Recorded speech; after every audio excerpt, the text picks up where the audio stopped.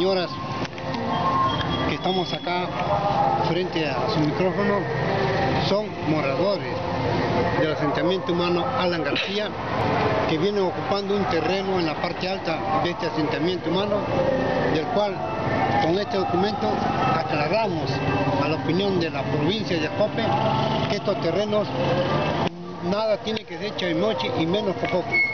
Estos terrenos ya han sido cedidos para que ellos puedan comenzar a edificar sus viviendas y de manera a tener ya algo suyo del, que para ellos le va a permitir desarrollarse como mejor quiera. Bien, dígame usted cuántos son los asociados, a cuántos representan su asociación. Nosotros somos 164 moradores del asentamiento humano Alan García. Cada uno con un lote. cada uno con un lote. De la segunda etapa son 147. Ya. No son 164. Cada uno con un lote. 147. Siete familias.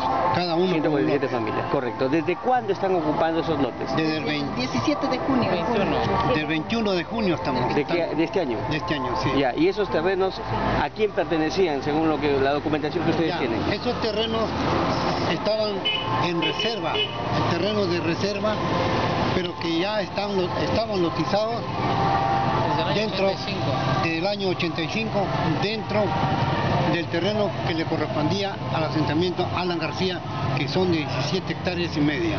Ya, ¿ustedes este, han sido, anteriormente han sido reconocidos por alguna autoridad? Sí. Venimos desde 2008. Venimos desde 2008, la Junta Vecinal, del cual coordinando con los señores que necesitaban tener un terreno, si acordamos para que ellos se constituyen en un comité pro vivienda de segunda etapa, el Alan García, del cual ellos están ahora ya ubicados en esos terrenos.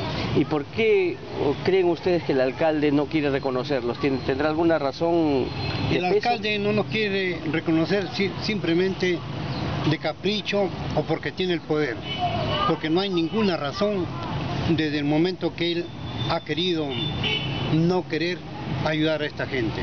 Él al comienzo, él al comienzo fue allá al terreno y dijo que iba a ayudar, pero posteriormente ha venido diciendo que estos terrenos son de Cofopri, de Chaymochi, del cual como a usted ve, le estoy dejando una copia, que ellos están desechando que estos terrenos le pertenecen a estos moradores que están ahora ubicados ahí. el, pedido de ustedes es hacia el alcalde, pero van a hacer también una denuncia mañana en la defensa del pueblo. Sí, mi, mi pedido, primero agradecer al alcalde del Consejo Provincial de Acope, quien nos ha ayudado en esta gestión para que estos, estos terrenos dejen dejen que las personas que están viviendo puedan construir su terreno. Asimismo, al señor Luis Solano, de quien por intermedio de él hemos obtenido estos documentos y que estamos coordinando con él ahora con mayor fuerza, porque esto, gracias a él hemos obtenido la dación de estos terrenos. En cuanto al alcalde, yo no sé, será porque soy padre de la ex alcaldesa, que nada tengo que hacer con él, pero mañana voy en queja de Defensoría del Pueblo porque desde el 17 de julio en que nos religieron los moradores de Alan García, los moradores que viven en el asentamiento Alan García como él ha querido, no nos quiere reconocer. Ahora, él aduce que está viendo padrones una cuestión sin razón. Si ha tenido que modificar para que haya las elecciones conforme él desea. En esa, el 17 de julio, él debió haber pedido eso, pero llegó a las 4 y 45 a la loza deportiva del asentamiento humano, donde le pidió a la señora Presidenta Grace Arias que de una vez convoque para que se realice esta elección.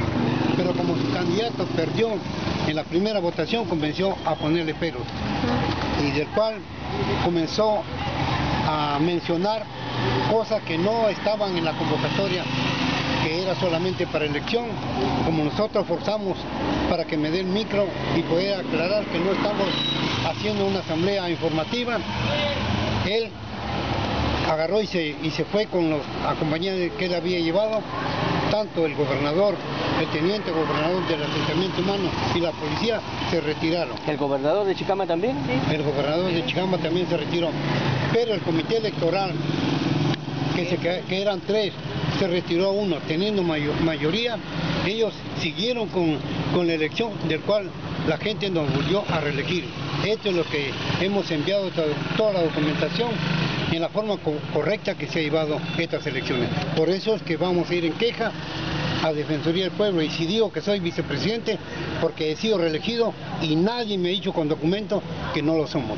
Por eso sigo peleando y luchando porque estas personas que están ubicadas en estos terrenos en la parte de Alan García y que estamos seguros que con la ayuda del señor alcalde José Castillo Pérez de Acope y el consejero regional vamos a obtener definitivamente para que estas familias puedan tener derecho a vivir en un terreno del cual hasta la necesidad se ha dicho que son de ellos.